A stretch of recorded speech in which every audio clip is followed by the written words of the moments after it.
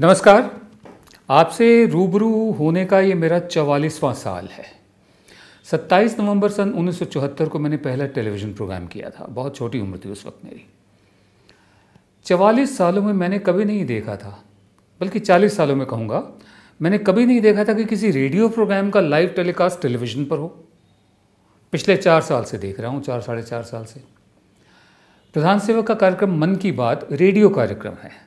लेकिन हमारे तमाम टेलीविज़न चैनल्स उसका लाइव टेलीकास्ट करते हैं। एक फ़ोटो लगा के और फिर रेडियो पे जो बोला जा रहा है उसका लाइव टेलीकास्ट करते हैं। प्रधान सेवक की किसी भी रैली का पॉलिटिकल रैली का लाइव टेलीकास्ट करते हैं, सारे चैनल्स करते हैं। आपको याद है, अन्ना हज़ारे, कुछ सुना हुआ नाम लगता है, अन्ना हज़ारे, याद कीजिए। कुछ साल पहले इन्होंने एक बहुत बड़ा अनशन किया था रामलीला ग्राउंड्स में, दिल्ली के रामलीला मैदान में। तो टेलीविज़न चैनल्स की ओ बी वैन्स वहाँ खड़ी हुई थी। और पूरा का पूरा अनशन सारे देश में टेलीविज़न के ज़रिए पहुँचा था। अन्ना हज़ारे हीरो बन गए थे रातों रात टेलीविज़न चैनल्स के ज़रिए। आपको याद है, योगा टीचर रामदेव सेठ जब बन रहे थे, ये नून तेल वगैरह मतलब बेचने से पहले तो उन्होंने भी एक रैली करी थी रामलीला मैदान में, जहाँ रात को सलवार कमीज़ पहनकर उनको भागना पड़ा था वहाँ से। उसका भी टेलीकास्ट 24 घंटे का हमारे तमाम न्यूज़ चैनल्स कर रहे थे। आज दिल्ली में बहुत बड़ी रैली हुई। एक लाख से ज़्यादा लोग उसमें आए। तेईस राज्यों से आए। किसी न्यूज़ चैनल्स पे कोई चर्चा नहीं, कोई ज़िक्र नहीं, सिवाय एक चैनल के जिसने नीचे स्क्रोल दे रखा था। और ये आज का जो रैली थी, ये किसान मजदूर संघर्ष रैली थी। क्योंकि इसमें किसान थे, इसमें मजदूर थे, कोई रैम्बो नहीं था, अन्ना हज़ारे जैसा या रामदेव जैसा या प्रधान सेवक जैसा, कोई सुपरमैन नहीं था। इसलिए इस रैली को दरकिनार कर दिया गया और वैसे भी किसान मजदूर की कौन सुनता है? और उनकी बात करें भी क्यों? दे आर नॉट श्रेसे सेक्सी इनफ बहरहाल, तेईस राज्यों से लोग आए। इसको center of Indian trade union ने ऑल इंडिया किसान सभा ए ने और all India agricultural workers union ने इसका आयोजन किया था, इसको ऑर्गेनाइज किया था। ये लोग रामलीला मैदान में रुके। उसी रामलीला मैदान में जहाँ अन्ना हज़ारे, जहाँ रामदेव वगैरह की रैलियाँ हुई थी, वहाँ से रैली शुरू हुई।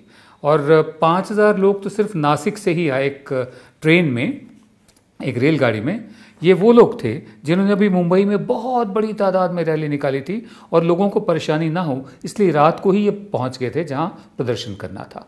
और मुंबई के नागरिकों ने भी इनका स्वागत किया था, इनको नाश्ते में पोहा और गुरुद्वारों से पानी की बोतलें और तमाम लंगर वगैरह का इंतज़ाम भी हुआ था। बहुत ही डिसिप्लिन बहुत ही संगठित तरीके से रैलियाँ थी। ये उन गुंडों की रैलियाँ नहीं हैं, या उन गुंडों के इकट्ठ नहीं हैं, जो बीस बीस, पच्चीस पच्चीस लोग डंडा लेकर मॉब लिंचिंग करते हैं। बहरहाल, एक साहब आए। उनका कहना था कि मैं रोज़ सात घंटे किसी के खेत में काम करता हूँ और दस रुपये रोज़ कमाता हूँ। और इस, जो हमने मार्च निकाला था मुंबई में, बहुत बड़ा एक मोर्चा निकाला था हमें प्रॉमिस किया गया था, वायदा किया गया था कि हमें ज़मीन दी जाएगी, वो कहाँ पर है? इकहत्तर साल के परशुराम का ये कहना है, जिन्होंने सात सौ रुपये खर्च किए ट्रेन की टिकट के लिए, जो तीन महीने में इनकी इतनी कमाई होती होगी। एक ग्रुप पालाकाड, केरल से मोटरसाइकिल्स पर आया है। एक और ग्रुप मणिपुर से आया। वहाँ की पुलिस उनको धमकाया कि मत जाओ, बावजूद इसके वो लोग मणिपुर से आए हैं। तो कुल तेईस राज्यों के लोग, एक लाख से ज़्यादा लोग दिल्ली में इकट्ठे हुए। पार्लियामेंट स्ट्रीट पर गए रामलीला मैदान से, लेकिन कहीं कोई कवरेज नहीं। इनकी मांग क्या है? इनकी मांग है कि एक तो महँगाई कम की जाए। दूसरा, जो पब्लिक डिस्ट्रीब्यूशन सिस्टम होता है, जिसके ज़रिए राशन वगैरह लोगों तक पहुँचता है, जिसे सरकारी हिंदी में सार्वजनिक वितरण प्रणाली बोलते हैं, उसको सब जगह पर लागू किया जाए। और फॉरवर्ड ट्रेडिंग जो होती है कि अगले दस साल में इस चीज़ की कीमत क्या हो सकती है तो अभी से उसकी डील करके रख लो। वो जो बुनियादी ज़रूरत की चीज़ें हैं, जैसे दालें वगैरह हैं, उनमें बैन की जाए। फिर कारगर कदम ऐसे उठाया जाए कि एक ऐसी नौकरी, ऐसा कारोबार, ऐसा रोज़गार लोगों को मिले जिसमें उनकी इज़्ज़त कायम रहे। और अट्ठारह हज़ार रुपये कम से कम मिनिमम वेजेस जिसे न्यूनतम मजदूरी कहते हैं मतलब कम से कम अठारह हज़ार, इससे कम ना हो। वेतन जो है, तनख्वाह जो है, कम से कम मिनिमम जो है, वो अट्ठारह हज़ार रुपये हो। और उसके अलावा स्वामीनाथन कमेटी ने जो रिपोर्ट दी थी एमएसपी की, मिनिमम सपोर्ट प्राइस किसानों को, उसे लागू किया जाए। सरकार ने क्या किया कि ए टू फॉर्मूला के अंतर्गत एमएसपी लागू किया है। ए टू में बुनियादी चीज़ों की जो कीमत होती है, जैसे खाद है, बीज है, पानी है लेबर है हाँ उसका खर्चा, उसका 50 percent MSP minimum support price देने का फैसला किया था। जबकि ये लोग चाहते हैं कि सी टू फॉर्मूला लगाया जाए, कि जो घर के लोग जो काम करते हैं, मेहनत करते हैं खेतों की ज़मीन पर, उनकी भी मजदूरी लगाई जाए और जो ज़मीन है, जिस पर ये हो रहा है, उसकी मार्केट कॉस्ट जो है मार्केट की जो कीमत है, किराए की, उसको भी इसमें शामिल किया जाए। और ये एम एस स्वामीनाथन कमेटी ने यही रिकमेंड किया था, यही सलाह दी थी। और जितने भी गरीब गुरबा किसान हैं, जिनके सरों पर कर्ज़ों का बोझ है, उसे माफ़ किया जाए। जब बड़े बड़े उद्योगपतियों के कर्ज़े, हज़ारों करोड़ रुपयों के कर्ज़े माफ़ किए जा सकते हैं तो इनके क्यों नहीं कर सकते? ये तो बेचारे बहुत बड़ी तादाद में ख़ुदकुशी भी कर रहे हैं। सबको मालूम है। लेकिन क्योंकि हमारी दुनिया सिर्फ़ टेलीविज़न चैनल्स की दुनिया बन के रह गई है या सोशल मीडिया की दुनिया बन के रह गई है असली दुनिया से आए हुए ये लोग असली हिंदुस्तान से आए हुए ये लोग दरकिनार कर दिए जाते हैं। सिर्फ़ इलेक्शन के टाइम पर याद आते हैं जब इनका वोट चाहिए होता है। इसके अलावा इन्होंने ये भी मांग करी है कि खेतों में काम करने वाले मजदूरों के लिए आ, कानून बनाया जाए। फिर ये कहा है कि मनरेगा जो है, वो सारे गाँव के गाँव के तमाम इलाकों में उसको लागू किया जाए। उसके अलावा फ़ूड सिक्योरिटी हो कम से कम हेल्थ एजुकेशन हाउसिंग सबके लिए हो। ये बुनियादी ज़रूरियात हैं। ये तो कम से कम सरकार मुहैया करवाए। उसके बाद यूनिवर्सल सोशल सिक्योरिटी हो। कि सरकार की तरफ़ से एक ऐसा नेट ऐसा जाल हो सिक्योरिटी का कि भूखों मरने की नौबत ना आए, आत्महत्या करने की नौबत ना आए। अस्पतालों के बाहर फुटपाथों पर लोग पड़े रहते हैं हमारे यहाँ। कभी दिल्ली में आकर देखिए या किसी भी राज्य की राजधानी के बड़े अस्पताल के सामने जाकर देखिए। वो ऐसी स्थिति ना हो। सरकार कम से कम इतना तो कर सकती है। और ये जो कॉन्ट्रैक्ट पर मजदूर रखने का चलन शुरू हुआ है, इससे नौकरियाँ जा रही हैं। कॉन्ट्रैक्ट माने जो मालिक होता है वो हायर फायर कर सकता है, जब चाहे आपको रख ले, जब चाहे आपको निकाल दे। और ज़बरदस्ती ज़मीनें ना ली जाएँ उद्योगपतियों के लिए, जैसा कि हो रहा है बहुत सारे इलाकों में। अगर कोई कुदरत का कहर होता है, कोई ऐसी आपदा आती है जो कुदरत की तरफ़ से आई है तो उसका जो राहत और फिर रिहेबिलिटेशन है, उसकी कारगर उसका इम्प्लीमेंटेशन उसको जल्दी से जल्दी किया जाए। बाकी और भी काफ़ी सारे सरोकार रहे हैं इनके। लेकिन मुझे बड़ी हैरानी है कि कहीं मीडिया में कोई कवरेज नहीं। मुझे याद है कि ये लोग इतने संगठित हैं और मुझे वो याद है मैंने पढ़ा था किस किसी ज़माने में। आ, नहीं मुझे याद है जब एंटी हिंदी एजिटेशन चल रहे थे या उससे पहले साधुओं ने पार्लियामेंट पर हमला कर दिया था वहाँ तक पहुँच गए थे। ये सब संगठित लोग हैं कल्पना कीजिए। ये जो गुंडे जिनको जो मॉब लेंचर्स हैं इनकी तरह इन्होंने भी अगर हाथों में लाठियाँ उसका उठा ली होती तो क्या होता? इसलिए इस रैली को चेतावनी माना जाए। ये चेतावनी देने आए हैं ये लोग, संगठित होकर, अनुशासित होकर। बहुत ज़ोर शोर से क्लीन गंगा प्रोजेक्ट की शुरुआत हुई थी राजीव गांधी के वक्त पर, और एक अथॉरिटी पूरी बनाई गई थी और करोड़ों रुपए उसमें लगा दिया गया, झोंक दिया गया, कुछ नहीं हुआ। राम नाम पर राजनीति करने वाले गंगा की राजनीति भी करने पहुँच गए बनारस। लेकिन राम की गंगा मैली ही रही। हालाँकि गंगा का बहुत बहुत गहरा ताल्लुक है। हमारी सभ्यता से, संस्कृति से, सदियों से हमारी चेतना का हिस्सा है गंगा। अब गंगा की सफ़ाई का जो वायदा था चुनाव का, उसमें उमा भारती पहली मंत्री थी। उनके काम से खुश नहीं रहे प्रधान सेवक। उन्होंने ये काम जिम्मा दिया नितिन गडकरी को, जिनके बारे में एक इम्प्रेशन है कि वो एक कारगर मंत्री हैं। काबिल मंत्री हैं, काम करते हैं। नितिन गडकरी ने कहा, और मैं उस मीटिंग में शामिल था, डॉक्टरों की एक मीटिंग थी, और मैं भी इन्वाइटेड था उसमें।